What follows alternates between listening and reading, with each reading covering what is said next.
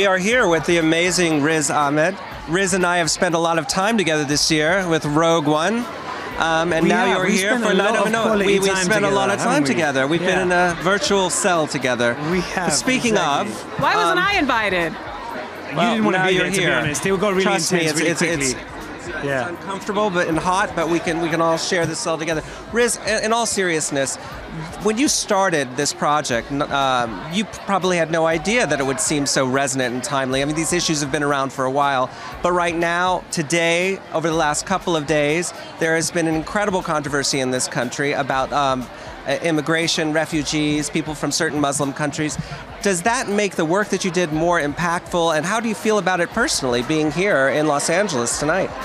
I think when you're doing work that tackles issues of social injustice or inequality, you're hoping that it's not relevant, right? No one wants that kind of work to be relevant. You're hoping those problems go away and it feels like some fantastical journey that has no connection to reality. But the sad fact is that is is uh, you know, an increasingly prominent part of our of our lives in this country and in many countries. So, I personally believe it's the role of artists to stand up and engage with these issues and engage with our reality. And so, you know, I'm proud of the night of for, for doing that.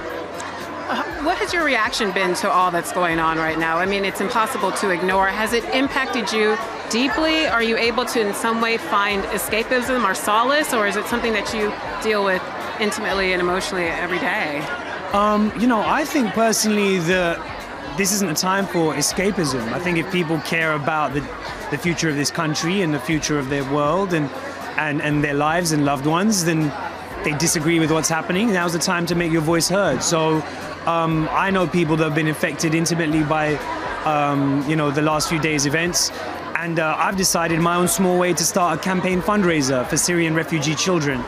And uh, John Turturro and uh, you know Rami Malek and Just Blaze and, and so many people have been so supportive of that campaign. So if people want to you know make a difference and help, I'd you know encourage them to go on. It's crowdrise.com/riz. It's a very simple link to remember.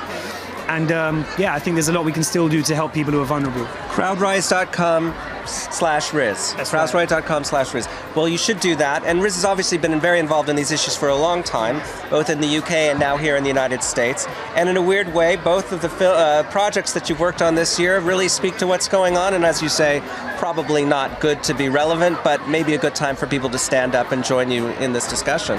So thanks, Riz. Appreciate Thank you. it. Thank you so and you're wearing guys. Zegna really quickly, right? am, yeah. It's That's a very, very, Very nice. nice. Look at the shirt too. That's very, very cool. I, I, I What is that, velvet?